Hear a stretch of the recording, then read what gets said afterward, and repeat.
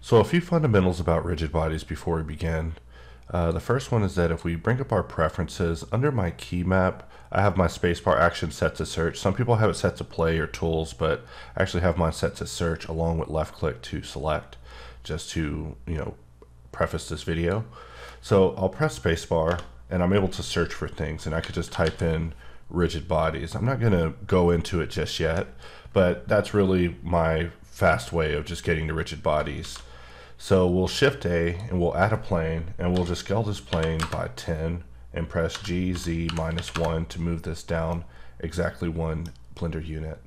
And with the spacebar menu, we'll just search for a rigid and we'll choose add rigid bodies, but we'll use the F9 option to make this a passive so that way the plane isn't falling. And then we can select the cube and we can actually use the spacebar again to add rigid bodies and this time we'll make it active. And so if we were to take this cube and place it up in the air, it will now fall.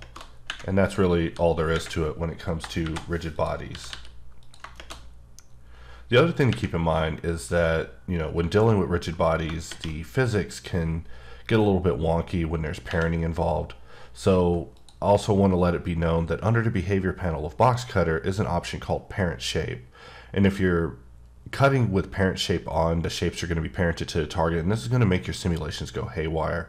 And this has been enabled by default 4716, but may be problematic with cutting with rigid bodies. We weren't expecting a lot of people to go into rigid bodies, but in the event that you're cutting that way, you may want to cut without parent shape on. And the other thing is that I have found personally that cutting with destructive mode on is actually a better result when cutting and slice. I could just slice in destructive with parent shapes off and this shape should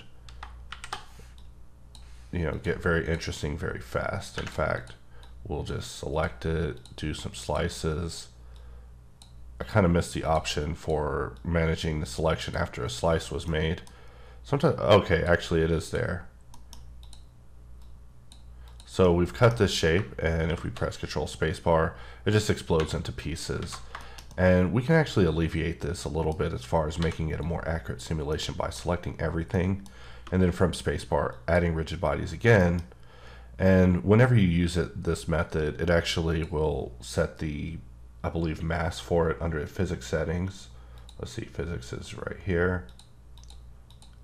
And it looks like we didn't get the automatic physics setting. The other thing is that whenever you're simulating these things, uh, using convex hull is a definitely a faster method. However, sometimes I'll make a selection and choose to set it to mesh, and then right click and set it to, um, let's see, what was it assigned to? Oh, copy to selected. And so now we actually have something a little bit more accurate. However, it's just kind of jumping apart. And then of course, since we're you know still in box cutter mode, we can select everything again maybe even switch it over to Ngon and just do a very large multi-cut. Um, we, we put a lot into ensuring that these particular maneuvers should take place without problem. The other thing is also the origins. I forgot to even discuss origins, but we will just make a few slices, just cut these into separate objects. And then with everything selected, we can press Shift S and, and since I'm using snapping pies, I can just choose origin to geometry and now things will come apart the way it's supposed to. And this is a really fun way to just kind of get into box cutter and to start playing around with things. Just play with rigid bodies and just cut things up and just see what happens. And, you know, there's also more to it. I mean, whenever I show physics, I tend to turn gravity off so things just explode free of gravity as a constraint. And then under rigid body world, you can begin playing with some other things like speed. We'll set this to 0.002 and it still is exploding at full speed, maybe 0.002. And we'll just leave everything else where it is. And we turn gravity back on. And this is basically the result that we're getting, which looks a little unusual. Let's change our speed back to 1. And that is what 1 gets us. If we change this to 8, it just finishes so fast, 0.02. And maybe turn on split impulse. And that is the result that I'm wanting to see. You know, just kind of this slow explosion of just rigid body pieces. And I think at the beginning there's a little bit of a like a time quake that happened there. So I bet we can actually fix that by giving it more solver iterations. Nope, not going to do it there. Maybe 120. Maybe give them both 120. I'm on a i9 now, so we could really experiment with these settings. You know, maybe 256 just to get really weird.